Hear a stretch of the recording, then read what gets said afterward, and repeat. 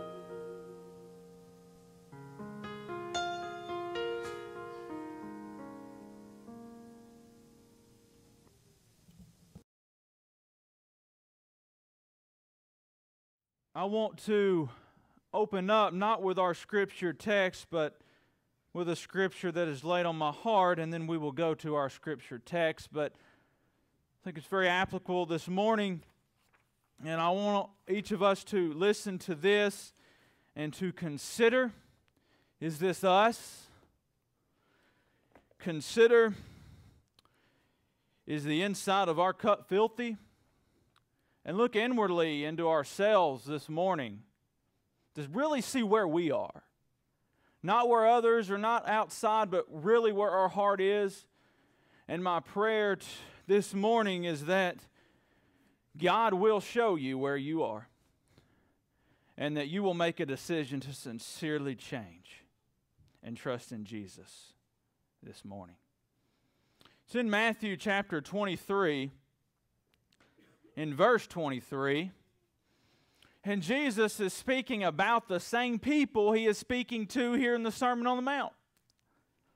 It's the same concept, it deals with the heart. But Jesus was not very nice here, he was very honest. We must be with ourselves as well. The 23rd verse of Matthew 23, it says, Woe unto you, scribes and Pharisees, hypocrites! For you pay tithe of men and anise and cumin, and you have omitted the weightier matters of the law judgment, mercy, and faith. These ought you have to done, and not leave the other undone. Jesus says, Ye blind guides which strain at a gnat and you swallow a camel. How many of us do that? We strain at small things. We're so worried about earthly small things, but yet and just strain at those gnats, and yet we swallow camels. We're not spiritual at all. We're worried about fleshly things. Go to 25. Woe unto you, scribes and Pharisees. He says it again, hypocrites. For you make clean the outside of the cup and of the platter, but within they are full of extortion and excess. He says, outside your cup is clean and, and you appear to be righteous and you appear to be doing what you need to do, but your heart is dirty, your heart is wrong. Inside you are filthy, inside you are spiritually dead, you are spiritually not where you need to be. Is that you this morning?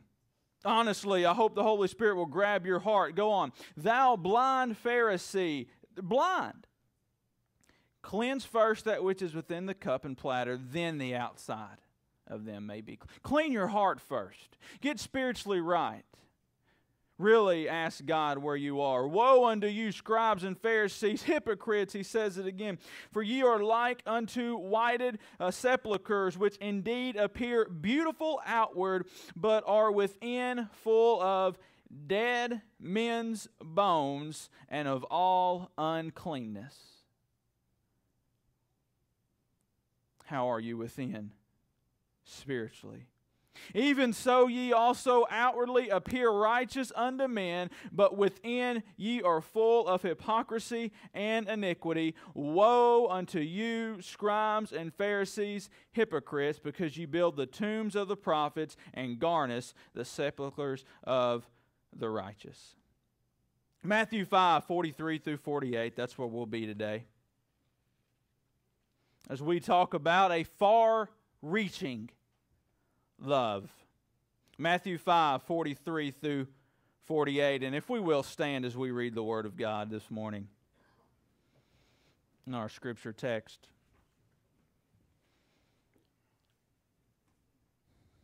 You have heard that it hath been said, Thou shalt love thy neighbor and hate thine enemy.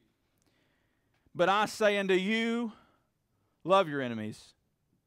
Bless them that curse you, do good to them that hate you, and pray for them which despitefully use you and persecute you. That you may be the children of your Father which is in heaven, for he maketh his sun to rise on the evil and on the good, and sendeth rain on the just and on the unjust. For if you love them which love you, what reward have ye? Do not even the publicans the same? And if you salute your brethren only, what do you more than others? Do not even the publicans so. Be ye therefore perfect, even as your Father which is in heaven is perfect. Will y'all please join me with your heart and mind in a word of prayer to our God? Father in heaven, this morning, during this holy, sacred time, this time set aside to open your word, Lord, let us open our hearts. God, let us not look at the outside of the cup and the outside of the platter this morning, Lord, but let us look inwardly into ourselves. Let the Holy Spirit uh, convict us and show us our unrighteousness without Jesus Christ. Let Him show us spiritually uh, where we are, God, if we will allow Him to. And Lord, I pray that this morning at Bethel Baptist Church that we're not a church of fleshly people, but a church of spiritual men and spiritual women, spiritual children, God, for your kingdom. I pray this morning that you do a mighty work. It, we don't treat this as just another day, God, but a spiritual blessing may we receive this morning. Just for this short time, God, change each and every one of our hearts, the saved and the unsaved. Convict us of sin. Humble us before your throne, that we may be children of our Father, which is in heaven. And it's in Jesus' name we do pray. Amen.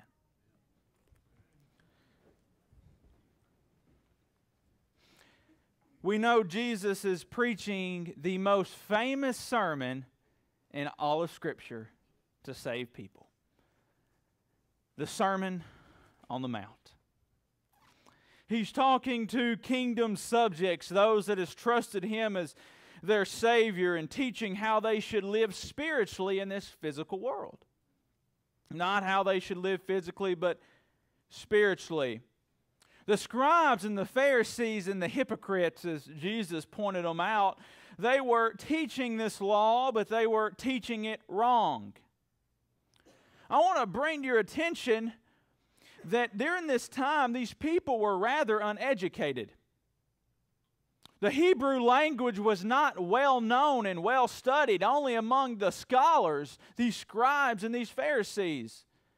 They were the one that was were taking the Old Testament law, studying it, and then teaching it to people who could not read it themselves. And that's why they were teaching the law of God and teaching it to the letter of the law, but not to the spirit and the heart of the law. For the letter of law killeth, but the spirit gives life. It says in Second Corinthians. So Jesus is teaching us the spirit and heart of what God meant in the Old Testament as these scribes and Pharisees are teaching it wrong. And in doing so, we see our state of unrighteousness before God. We see that we really are filthy. Inwardly, we are not clean, and inwardly, we need something else, and that is Jesus Christ in the forgiveness of our sins. Because we see that it's not just about following rule A and rule B, but yet it's our heart in following these things. It's an inward spiritual. This may be the hardest teaching of Jesus for kingdom subjects up to this point. I believe this is the hardest that we have gotten to so far. It has been for me. I believe it might be for you as well.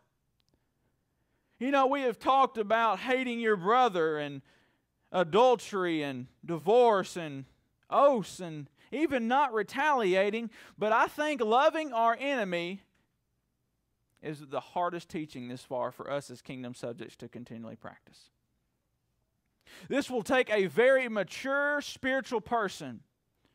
This will take one person that is guided. This will take people guided by the Holy Spirit in this spiritual kingdom. You will not be able to do this on your own. You will not be able to do this in your flesh. You will fail miserably to love your enemy unless it's through Jesus Christ your Lord. And I want to elaborate a little more on that in a minute. We learned the wrong way to retaliate last week. We turn the other cheek. We go the extra mile. We become generous and we give. We don't retaliate in an evil way. And now we learn how to retaliate. And that's by loving. That's by prayer. That's by blessing. I pray this morning that we will hear God's word. Nevertheless, no matter how difficult this teaching may be, no matter how hard it may be, no matter who that enemy is in your life, what that enemy has done, no matter if you want to be children of God, if you want to be spiritual subjects in God's kingdom, if you want to be a follower of Christ and to look like Christ, you must follow this teaching and love your enemy. Amen?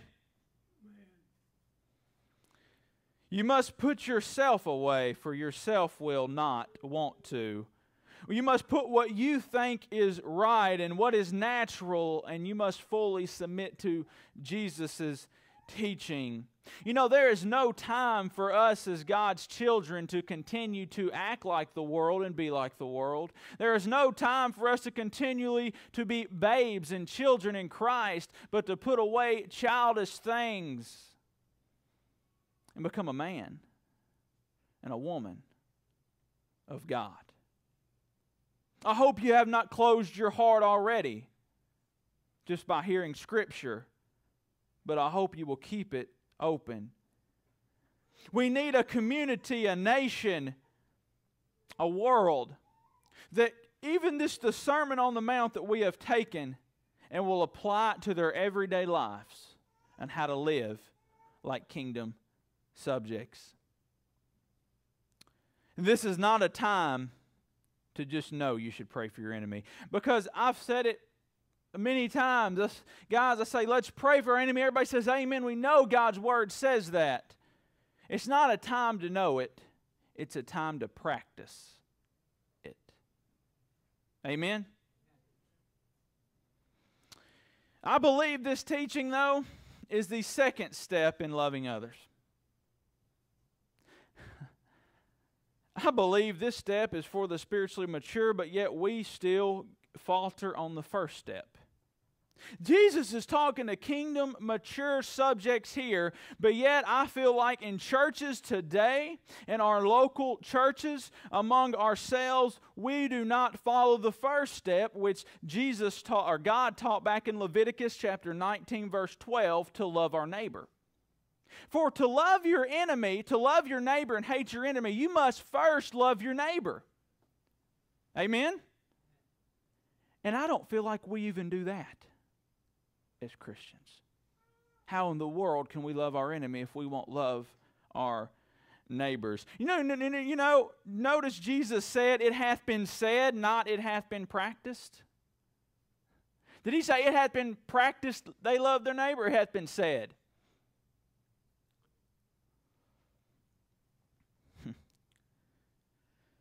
This is the second step. We must first learn to follow the first teachings. You know, I see way too many people who proclaim to be Christians who cannot love their neighbor, their family, or their fellow church members. And then we expect to love our enemies.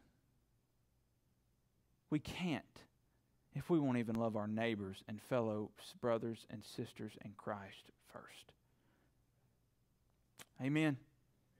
You might need to go back today and pray that God will give you pray maybe that God will save you and give you a, and forgive you of your sins so you will realize what forgiveness and love really is. Change your heart, turn you around. And when you've been shown love and forgiveness of God, you may show that to others and then you can start loving your enemy. Even the lost man and the heathen can love their neighbor, God says how much more should the children of God?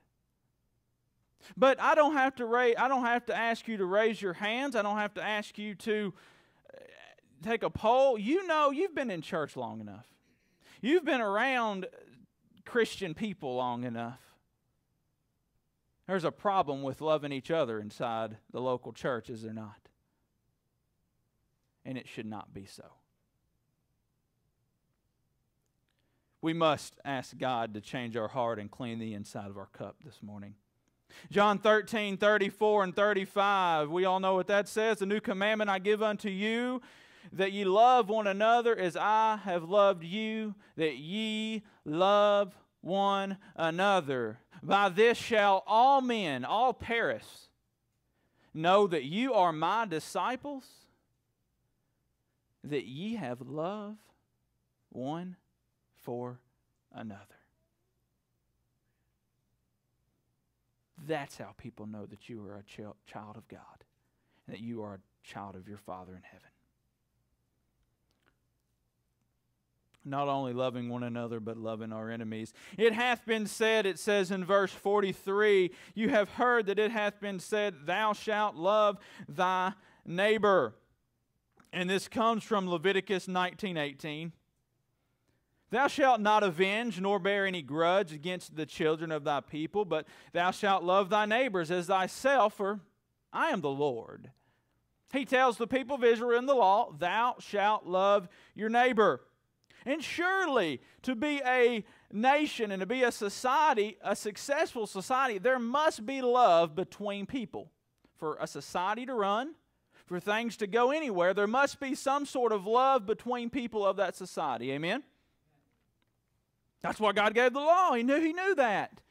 Without love between people, it would be total chaos and we would destroy ourselves. we would poke out each other's eye and retaliate until the whole world was blind. the scribes and the Pharisees, they did not argue this law that thou shalt love thy neighbor. They just defined thy neighbor a little differently. You know who their neighbor was? They taught their neighbor was the Jew, and that's it. So, uh, people like themselves. Maybe it was the, your own family. Maybe it's your own your own clique. Maybe it's the, your own little group that you only love them. So the Jews were teaching to love your neighbor, the Jews or the people close to you, that they were teaching to hate your enemy. The Gentiles, the Greeks, the Samaritans, people unlike you and outside of your little circle. So the problem was not, well, the problem even was in teaching them to love your, their neighbor. For who did Jesus say their neighbor was? Because the scribes and Pharisees came to Jesus once and they asked, Who's your neighbor? Did you remember the beautiful picture that Jesus gave and the story that he told? Anybody?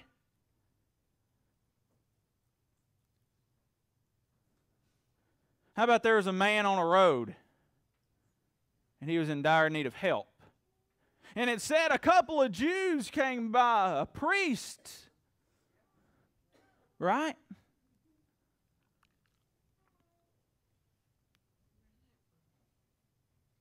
These people came by and they left him there in need of help. But then the people they're supposed to hate, the Samaritans, well, a Samaritan came by, didn't he? A Samaritan picked him up, took him to an inn, and said, I'll cover his hotel fee. He says, That's, and, he, and then he, he, didn't he, he asked them, he asked the scribes, he asked the Pharisees, Who do you say the neighbor was there? and they got pretty upset with him, didn't they? Our neighbor is anyone that we might come in contact with.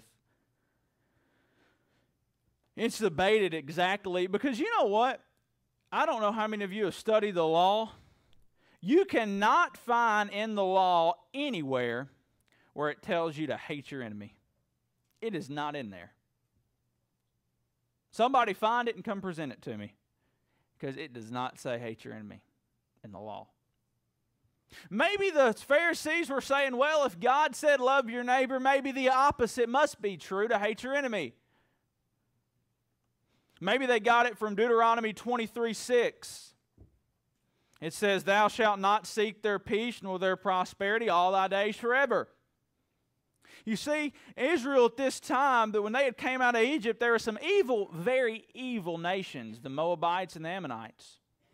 And they did not help Israel a bit when they came out of Israel, when they came out of Egypt. They did not feed them, they did not give them drink. They actually hired a, famous, a very famous curser named Balaam to curse them. But they were people of God, and God protected them and because he loved them. But yet they also sent somebody in there to turn Israel's heart away, and 14,000 were slain. It was just a bad mess. So God tells the people of Israel with these Moabites and Ammonites, You shall not seek their peace nor their prosperity all the days forever. God was talking about the, these enemies, Moabites and Ammonites of Israel. It was for their protection and God knew the evil hearts of these people. He was not teaching to hate your everyday enemy, He was protecting the people of Israel. All throughout the Old Testament, does He not say, do not take their daughters, do not take their sons, do not intertwine with enemy nations because of their idolatry and how evil they are? Does He not? I won't read it. Ezra 9:12 says it but it had nothing to do with hating your everyday enemy. We have no idea where these scribes and Pharisees got this teaching, but yet they taught it. Well, I know where they got it, for we get a lot of things that we believe today are on sinful hearts, isn't it? So, but there is an enemy before I go on to I say unto you. You there is an enemy you should hate. There is something you should hate and an enemy you should hate. That enemy, Satan, his schemes, his ways, and sin, you must hate them. Hate, H A T E capital. Christian, it's okay for you to hate sin. Actually, we need a people that will hate sin more. We're not a people that hate sin. We're a nation that loves it. You must learn to hate sin before you can ever learn to follow God. Does that make sense? For it's a hatred of sin that shows how can you not hate sin? For if you love sin or even play with sin,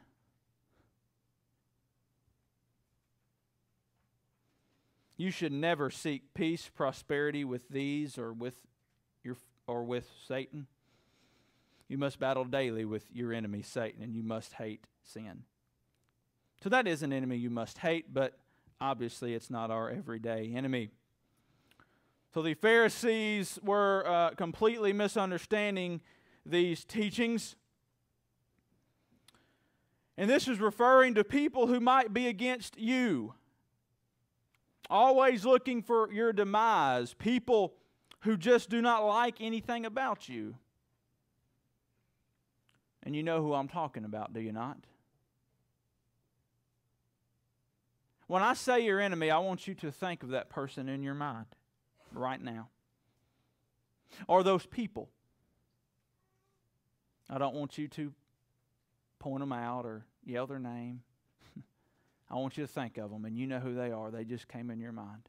Those people who want the worst for you or your demise or you consider your enemy, and I hopefully, I hope to God it was not a fellow church member. For that comes in where we must love those who love us. That comes with loving our neighbor that we should do initially. That does not come with loving your enemy because our church member is not our enemy. You see how wicked we are? Who is that enemy in your mind? Keep it in your mind while we talk about how you should love them. This is where loving, and, and now I want you to learn and practice what Jesus tells us we should do concerning these people that you hate or that is your enemy. I say unto you in verse 44, but I say unto you, Jesus says, love your enemies. Very simple very to the point. Love that person you thought of that's in your mind that you consider an enemy. Love them. So, what does that look like? Really, what does it mean to love your enemy? We can say it all day, but what does that mean? How about love suffers long? How about Love is kind and it does not envy. He says, all towards your enemy. Love does not lift up itself, and love is not puffed up. It does not, love does not behave itself unseemingly. Love does not seek her own. It's not easily provoked. It does not think any evil. It rejoices not in iniquity, but it rejoices in the truth. Love beareth all things, believeth all things, hopeth all things, endureth all things, and love never fails. That is the love you are to have toward your enemies. It means to forgive them and keep forgiving it, means not to rejoice in their shortfalls or shortcomings. Are you looking inside your cup this morning? That's why I read that passage. Are you looking at your platter? Are you looking at the sepulchres? Is there dead bones in there or is it clean? It means not to rejoice in the, disp- in, in the, in the uh, downfall and shortcomings of others. Proverbs 24, 17, 18 says, Rejoice not when thine enemy falleth, and let not thine heart be glad when he stumbleth, lest the Lord see it and it displease him, and he turns away his wrath from him. So we don't rejoice in our enemy's shortfall or when our enemies stumble or when our enemy, something bad happens to our enemy. But how often do we find happiness when bad things happen to our enemies? Huh? They deserved it, didn't they?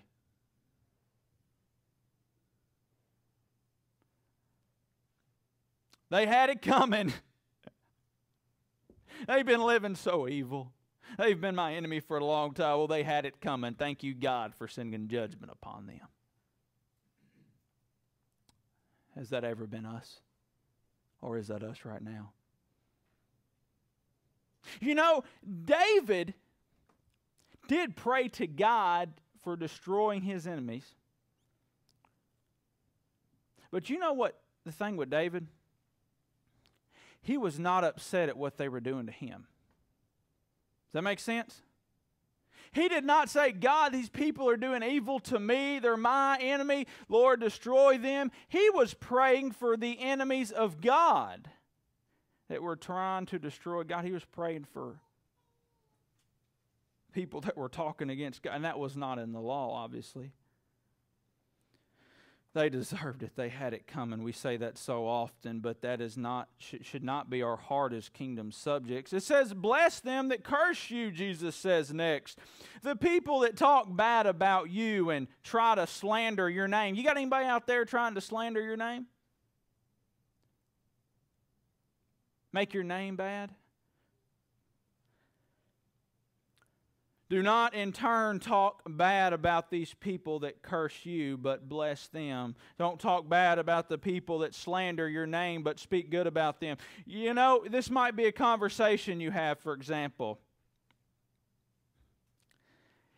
He comes up and says, You know, Brother David? Is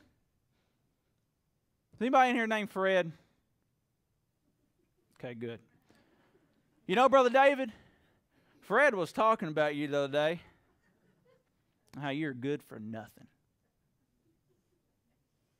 All right, so that happens a lot, doesn't it?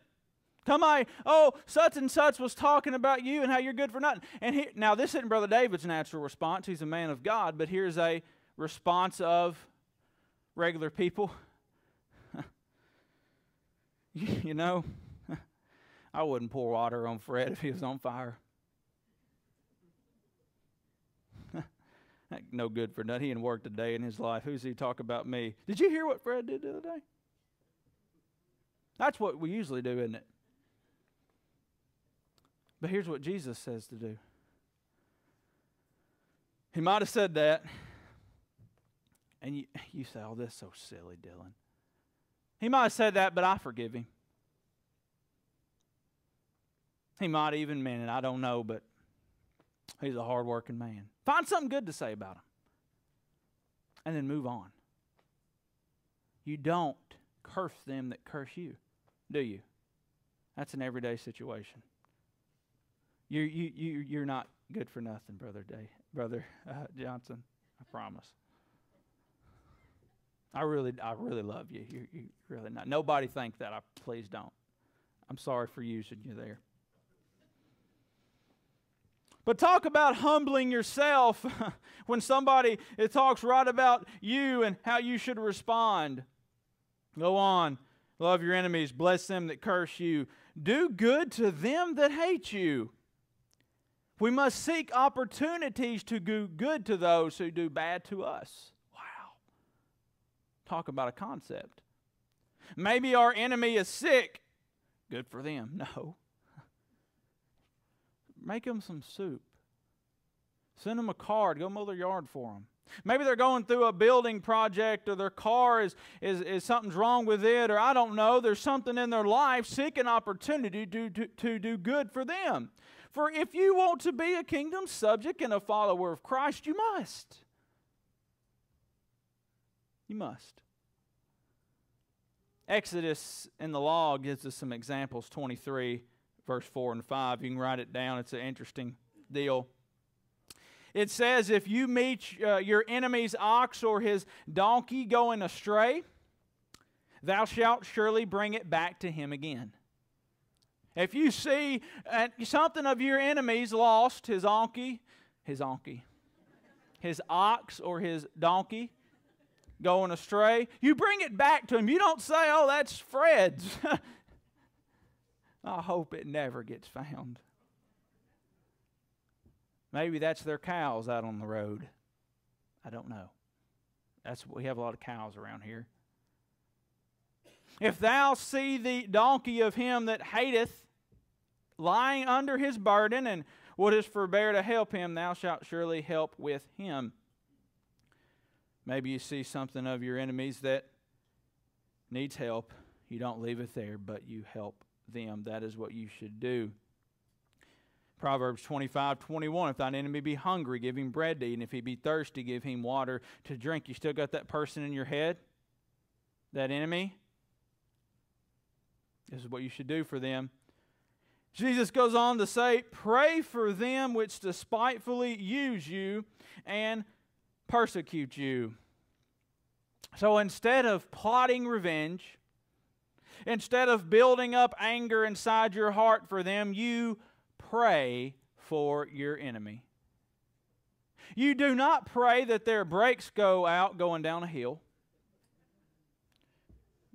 You don't pray that their air conditioning goes out this summer. You don't pray for their demise, but you pray for their success. You pray for their spiritual state. You pray for yourself to handle them in a loving and Christ like way. Can we read that together if you are in Matthew 5, verse 44? Because it's very hard. I'm going to be reading, Pray for them which despitefully. Are you ready? Pray for them which despitefully use you and persecute you.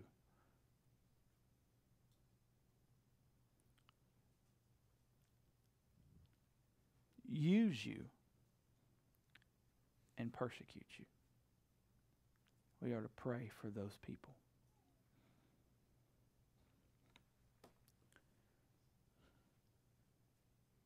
Verse 46 says, For if you love them which love you, what reward have ye? Do not even the publicans the same? And if you salute your brethren only, what do ye more than others? Do not even the publicans so? It is easy to love those that love you. The whole world can love people who love them. Even the heathen does. It's easy even for lost people to love those who love them. If we are only loving our neighbor, if we're only loving our fellow church member, we are no different than the world. Is that not odd? If we only love our neighbor, we are no different than the world. Is that not odd to think about? Jesus says, If you love them which love you, what reward have ye? Do not even the publicans the same. We think we're really doing something when we love each other and our neighbor, and we are. We're being obedient to Jesus' command, but we're only being half obedient. So we must also love our enemy. We say, Oh, I am so righteous and good. I'm loving everybody around me, the people that love me, but you're no better than the publican. We are only being partially obedient to Jesus' command if we only greet our brethren in CVs. Only greet the people that we know and that we love. But boy, if we see our enemy, we try to duck the other aisle or we, we say, How are you doing? with hate in our heart. And we, can you believe that they had the audacity to look at me like, you know how we do?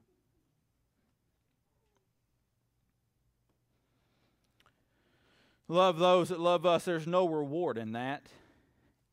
The title of this message was what? Does anybody know? Remember? A far reaching love. It's not far reaching when you only love people that love you, it's a short reaching love. It's not a far reaching love. We must rise above the standard Christian kingdom subject. We must rise above the norm. We must love our enemy as well It is a witness to others when our love is farther reaching than the love of them or the love of the world. We stand out, we're different, we allow our, we allow our light to shine, and we then are being the salt of the earth. When others see kingdom subjects, not only love those who love them, but love their enemies, it is a strong and convicting witness. Amen?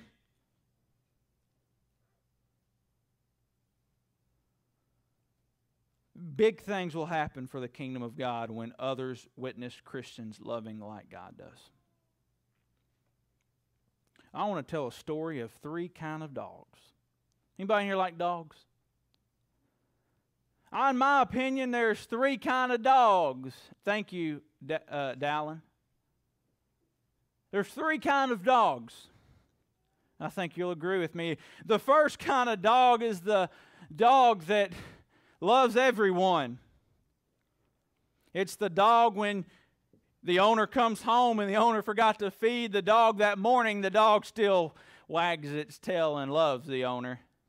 It's the dog where you, you accidentally closed the, him up in the laundry room for 10 hours and you come home and open it up and guess what? The dog jumps on you and glad you're home. It's the dog that when you take to the park or out in public that the dog wags its tail at every visitor that comes by and every guest and everybody can pet that dog.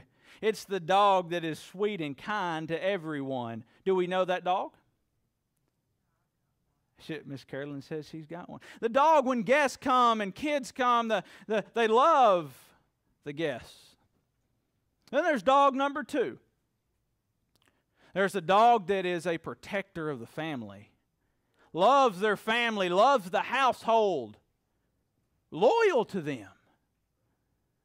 But then when the mailman comes and UPS man knocks on your door, right?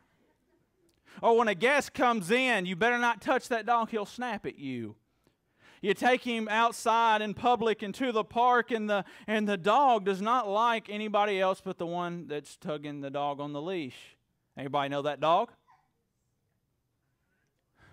And Carolyn had one of those.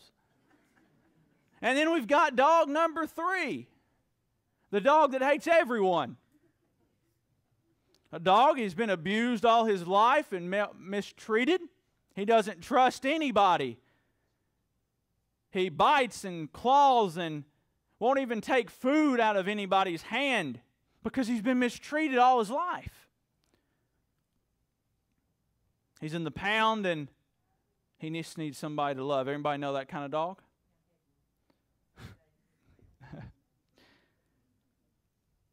but those are three kind of dogs, but I think those are three kind of people as well.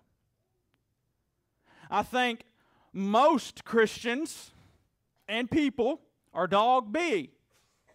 They love their enemy, they love their, their, their family and the ones that are for them and they're a protector of them and they're on their side, but anybody else, the UPS man, the, the somebody knock on the door, uh, somebody else come, boy, they, they, there's no love there.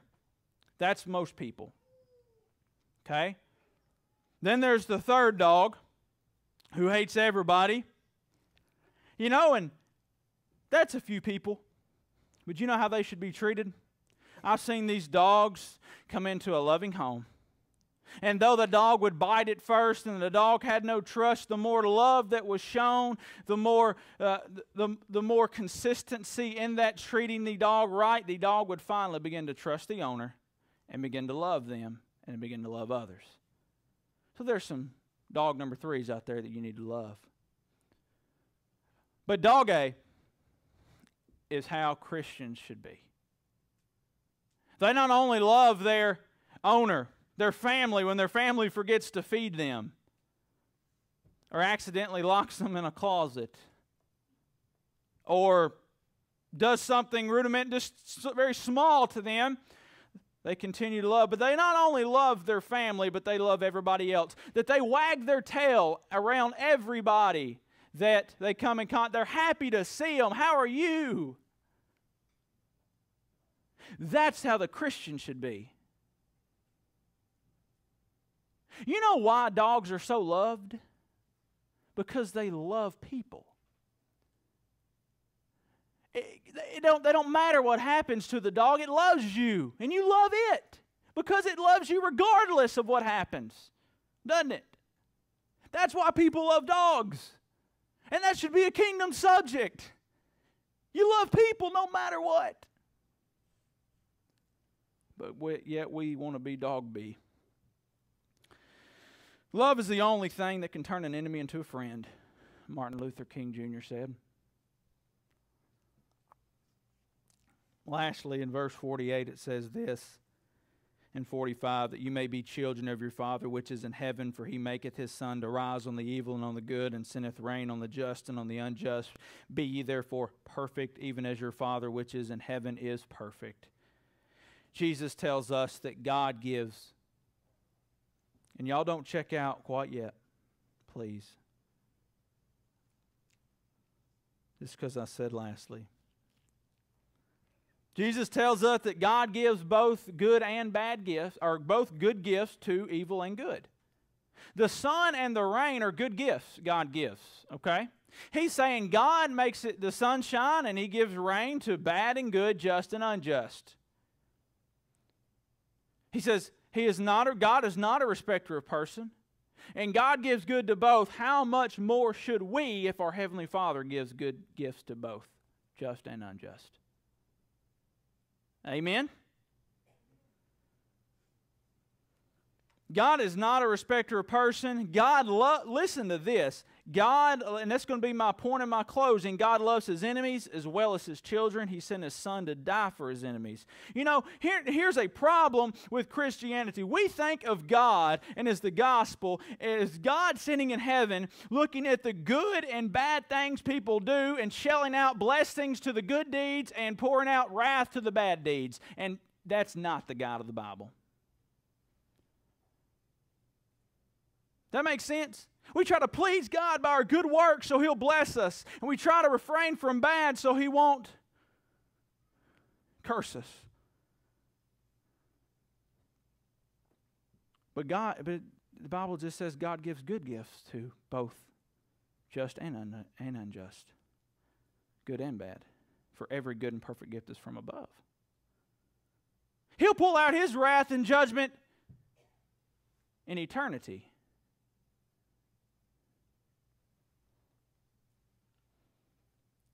It's only by the grace of God that we are any good. For there's God gives common grace, and it's shed upon all men. Not saving grace, but common grace is. All men have ample opportunity by the common grace of God to accept the saving grace of God. If God gives good to bad and good, just and unjust, how much more should we? Vengeance is mine, says the Lord, and I will repay them. We see just su- succeed all the time or unjust succeed all the time, we say, well, we want to be like them because they succeed. But God says, no, it's better if you will just fear me and do right. We're talking about that in Ecclesiastes. We must be perfect like our Father in heaven is perfect, blameless, mature, and of the highest integrity. The world must have no doubt when they see us who our King is and who our Heavenly Father is. They must see and declare they are a child of God by the love we have for our neighbor and our enemies. In closing, if you will please turn your Bibles to 1 John 4 7. It wraps it all up. 1 John chapter 4 verse 7. Beloved, let us love one another, for love is of God, and every one that loveth is born of God and knoweth God. He that loveth not is not saved, knows not God. For God is love. In this was manifested the love of God toward us and you. Because that God sent his only begotten Son into the world that we might live through him. Herein is love. Not that we love God, but that he loved us and sent his Son to be the propitiation for our sins. Beloved, if God so loved us, we ought also to love one another. If you are not saved here today, you are an enemy of God. Do you realize that? James says, Whosoever will be a friend of the world makes himself an enemy with God. If you are lost and not saved, you're an enemy with God. You love the world, you love the things of the world. Your flesh and your eyes lust, and the pride of life eats you up. This is, this is the truth. This is looking inside your cup right now. Looking inside your heart, not at the outside, but the inside. If you do not know Jesus, you're an enemy. You hate the things of God, and you are living in continual sin. Look inside your cup. You are a lover of your own self and of sin, and you are not of God, and you are not of His Son, Jesus. There is no love found in you, there is just enmity with God. You are dirty. You are rolling around in the mud pit of sin and rejection of God, and you stand an enemy. You care not to humble yourself before your Creator, nor call out to Him for forgiveness of sin and restoration back to Him. You stand an enemy of God. Despite your circumstances and current state right now, despite you being an enemy, God still loves you. Because God not only loves those that love Him, but God loves his enemies and those that are lost. And he sent his son Jesus to die for you, right where you are, right now, no matter how filthy you may be. So, are you an enemy of God today and in need of salvation? As we all stand and our musician and song leader comes forward, musicians and song leader come forward. There is no in between, guys. There is no, I'm a, you're either a friend of God or you're an enemy with God. There is no in between. I'm kind of God's friend. You're either saved or unsaved. And an unsaved person stands as an enemy with God, and in your heart it is wicked. There is no good thing. There dwelleth no good thing and there is no forgiveness of sin. No, no blood of Jesus Christ that's covering your sins if you're lost. But today you can accept the free gift of salvation, of God's grace, of the blood of His Son Jesus Christ that died for your sins and took all those sins upon Him, died with those, resurrected, conquered those sins and now says, if you will just have faith in me, that you will be justified. This morning, are you an enemy of God? Will you become a friend of God today?